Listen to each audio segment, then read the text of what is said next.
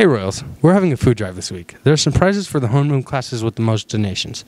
The first place class will get breakfast burritos, the second place class will get yogurt parfaits, and the third place ca- third place class will get donuts. Go ahead and donate.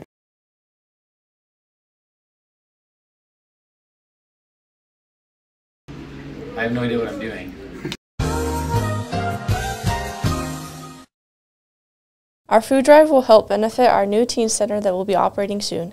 The teen center has a food pantry to provide food to the community as well as couches, Wi-Fi, and other amenities such as showers, laundry, and study rooms. Stay tuned for more information on our new teen center. Hi Royals, we're here with Mr. Watts. Um, I wanted to ask you a question. What does orchestra mean to you? Orchestra to me is like an old friend. I've been doing it since sixth grade, and I'm 40 now.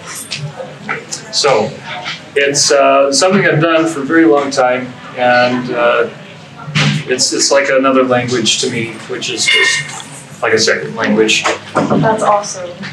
Is there any upcoming events that you need to know about? Yes, on the 15th of October, we have our concert here. Uh, the junior high will start at 6 o'clock, and the high school will start at 6:45. So come to either of those. Thank you. You're welcome. Hey Royals, today we're interviewing band leadership. We are going to ask them for what position they are in the band and what instrument they play. Hi, my name's German. I am the ro- sorry, I'm the concert band representative, and I play alto sax. Uh, I'm Talon. I'm the jazz band representative, and I play bass guitar. I'm Sophia, and I'm the band president, and I play bass clarinet. I'm Trey. I am the band vice president, and I play drums. I'm JD. I'm the royal rep, and I play the clarinet.